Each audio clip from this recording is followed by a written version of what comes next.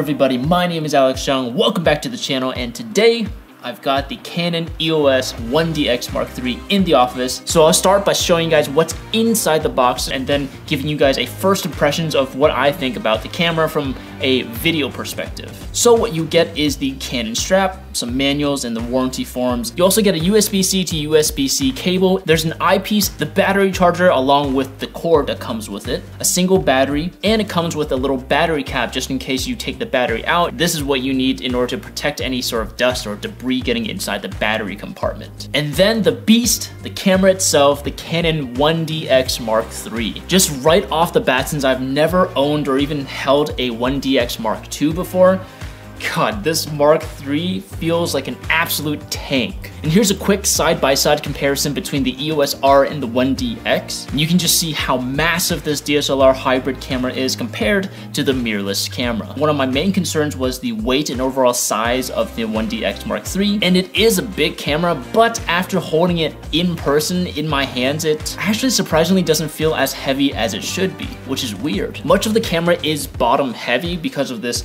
battery that's sitting at the bottom right here. And I can already tell that it gives me smoother handheld footage than on my EOS R or even the 5D Mark IV. However, because the 1DX is just so massive, I can't imagine myself putting it on a gimbal and then going out and shooting for six or seven hours straight on a wedding shoot. I think my entire body would be completely dead at the end of the night. Another thing that I'm trying to get used to is just there's so many buttons on this camera. Look at that, like on the top right here, on the top right here, and then at the bottom right here. And it does make it a little bit intimidating, a little bit overwhelming at times.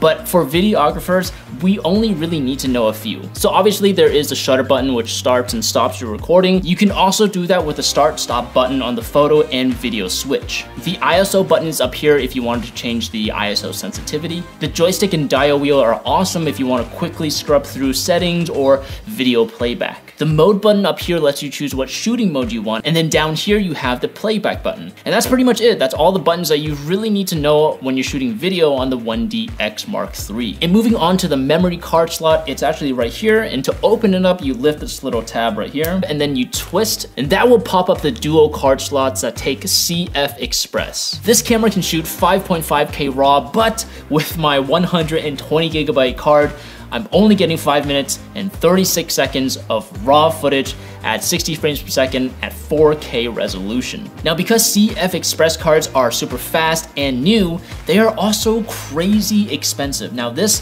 120 gigabyte card cost me $200. If you wanted a 256 gigabyte card, that costs $400. And if you want a 512 gigabyte card, that costs $600. That is another camera for $600. The price of a 512 gigabyte card, you could get another camera Dual card slots are awesome and I totally understand the reasoning why you would want to have a backup file. But for me, I've personally never used a camera where I totally utilized the dual card slots. I've just never had that issue where I've had a faulty SD card crash on me, so I've never lost any footage at all. But for other videographers, it is nice to have that peace of mind. At the bottom right corner of the camera, you have the grip. And then you also have another set of buttons which you actually can turn off and on using this little switch right here. And that's mostly a photographer's thing unless you're shooting vertical video for TikTok, which I heard is poppin', hey. But for the rest of us, we are mostly shooting video in landscape mode, which is the correct way to shoot video, not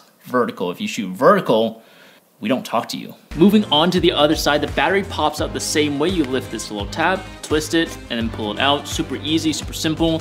I've heard that these batteries last for days, which is awesome, and I can't wait to test that out. And then on the side right here, you have a lot of connections that you can plug right into the camera, but the important ones for videography would be the USB-C connection cable right here, and then you have the mini HDMI so that you can attach an external monitor and just record out from there. And on the other side, you have the mic and the headphone jack input so that you can record and monitor your audio levels. And then moving on to the touchscreen, it's really sharp sharp and responsive, but the biggest thing that I have an issue with it is that it just doesn't flip out. And if you're shooting anywhere that's not eye level, let's say you're up here or even down here, you're struggling to see what you're shooting and it can be hard if you don't have a flip out screen. Now in case you're shooting photos and videos with this camera, the 1DX Mark III actually separates the photo and video settings so that you don't have to go back and forth having to spend time and set up your camera entirely all over again so that you can just switch back and forth without any problems. And then as for the shooting modes and video codecs on the 1DX,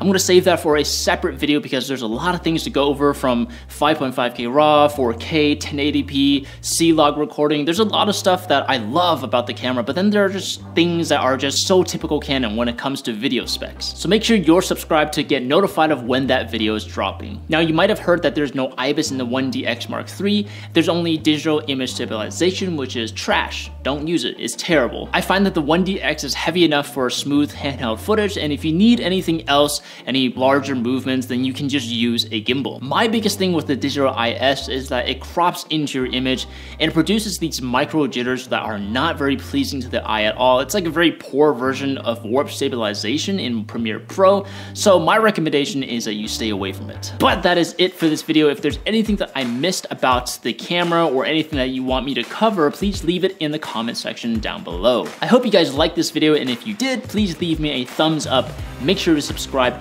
hit the bell to get notified of every video that I post. My name is Alex Cheung, and I'll see you later. Bye!